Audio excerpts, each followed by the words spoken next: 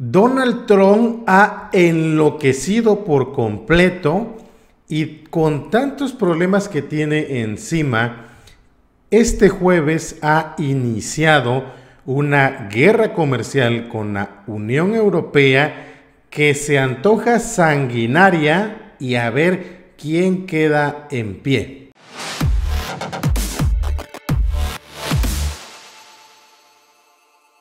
Hola amigas y amigos, qué gusto saludarlos aquí en el Chapucero Yusa. Soy Toño Villamil. Nacho Rodríguez está en un viaje, ha sido invitado por YouTube a un evento. Ya les dará él más detalles de esta invitación que recibió. Regresa ya en un par de días. Mientras tanto, vamos a seguir tocando aquí los temas que son de interés en el ámbito internacional. Y ese tema tiene que ver este jueves con la declaratoria de guerra comercial que Estados Unidos ha hecho con los europeos. Y desde luego los europeos, que no están muchos, que tienen todavía con qué defenderse, han respondido que también van a tener, van a hacer represalias en contra de los Estados Unidos. Es decir, que Donald Trump viene saliendo de una guerra comercial de la que todavía no sale bien, pero en la que más o menos hay todavía un impas en la guerra comercial con China. Trump está en un momento interno difícil, que es el tema del juicio político que le están tratando de hacer los demócratas por haber intentado presionar una investigación contra su adversario John Biden a través de Ucrania. Y también Donald Trump no tiene ni siquiera eh, muy seguro cómo va a terminar la relación con Canadá y México en el tratado. Y bueno, dentro de todo este desastre que implica la agenda internacional de Donald Trump, se inscribe ahora los intentos que, que está haciendo por sancionar, por imponerle aranceles a la Unión Europea, lo que ha puesto a los europeos bastante molestos. Los europeos están sumamente molestos porque pues siempre han estado muy cercanos y plegados a lo que Estados Unidos ha dicho y ahora reciben esta puñalada por la espalda que les está dando Donald Trump. Este tema está bastante interesante. Vamos a revisarlo paso a paso. ¿Cómo es que inicia?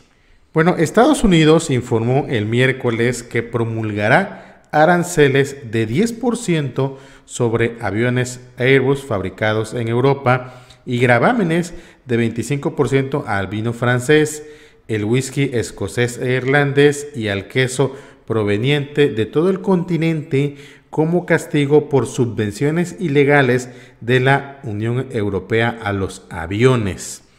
El anuncio se produjo después de que Estados Unidos obtuvo el miércoles una autorización de la Organización Mundial de Comercio para imponer aranceles por 7.500 millones de dólares en bienes europeos, lo que amenaza con desencadenar esta guerra comercial entre los dos continentes que se antoja inminente, lo que sin duda alguna terminará afectando a una débil economía mundial que estaba ya muy golpeada por la guerra comercial de Estados Unidos con China.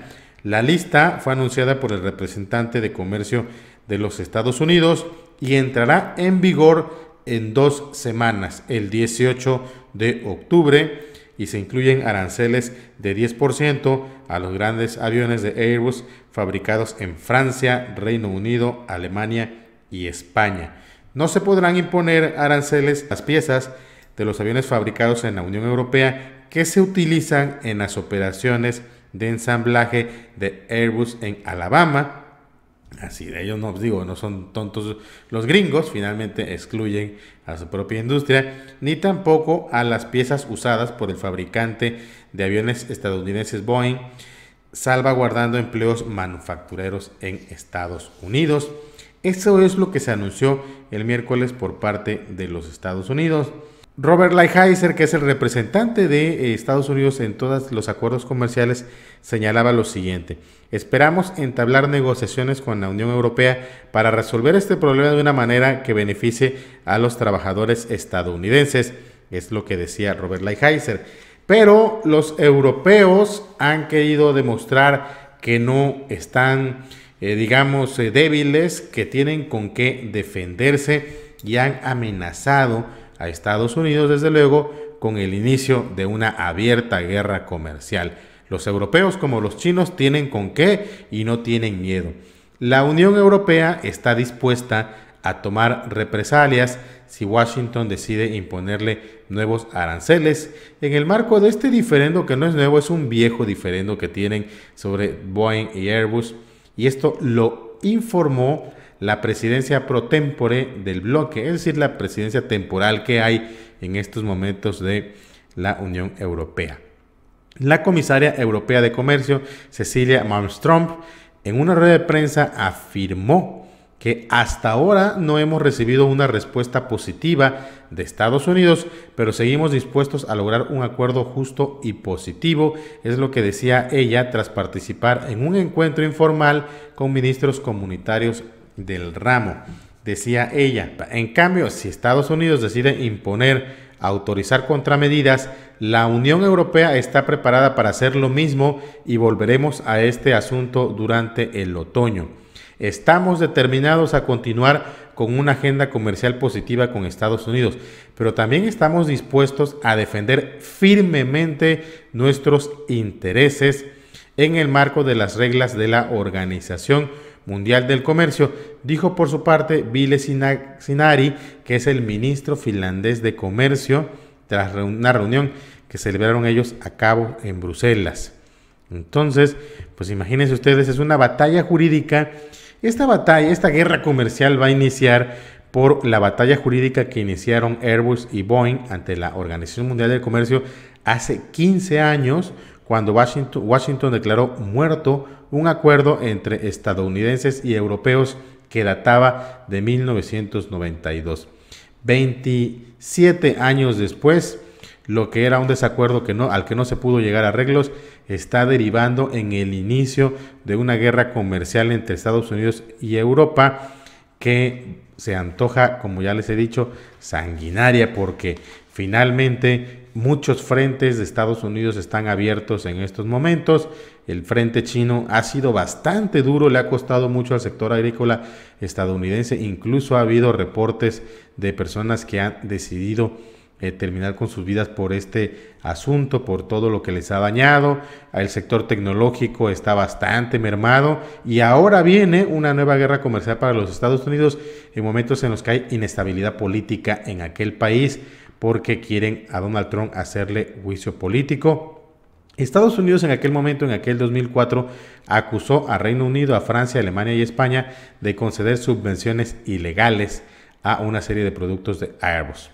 Entonces la Unión Europea replicó acusando a Boeing de haber recibido también subvenciones prohibidas entre 1989 y 2006 por parte de organismos estadounidenses.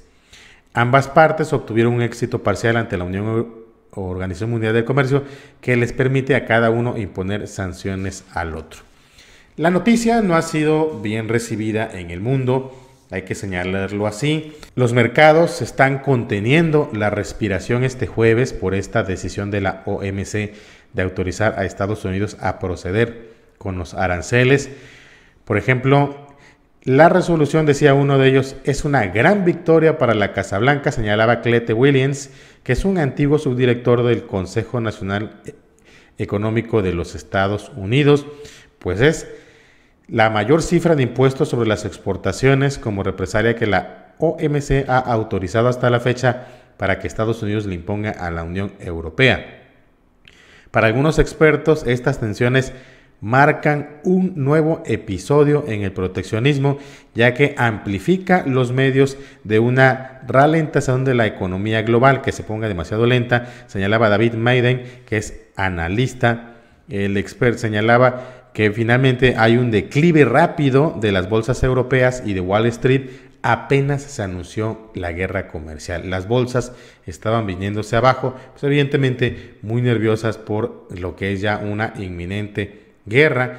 Los expertos de Rabobank, por su parte, escriben en una nota para clientes cargada de ironía que esto hará maravillas para las relaciones comerciales entre Estados Unidos y la Unión Europea y las tensiones geopolíticas por no decir nada para la economía. Es evidente que estaban ironizando que esto será, eh, si no el acabose, sí por lo menos un golpe contundente, descomunal a lo que venían siendo las relaciones entre el viejo continente y los Estados Unidos, que se reflejará no solo en el ámbito económico, porque Europa empezará a uno a preparar las medidas de represalias a los productos de Estados Unidos, pero también a cortar un poco relaciones como ha hecho China golpeando en los sectores militares, tecnológicos y de intercambio de estudiantes, etcétera. Los europeos también tienen con, quién, con qué pegar y uno de ellos será sin duda alguna el ámbito militar, tecnológico, científico y de colaboración en temas de seguridad, que es algo a lo que los Estados Unidos tenía el miedo. Y finalmente, en el marco de la guerra China-Estados Unidos, había un fiel de la balanza, que eran los europeos, que estaban un poco en contra de China y a favor de los Estados Unidos. A, ver, a partir de ahora, de este golpe contundente que Estados Unidos está dando, qué hacen los europeos y cómo reconfiguran sus eh, alianzas en el mundo. Hay que estar pendientes. Muchas gracias, amigas y amigos.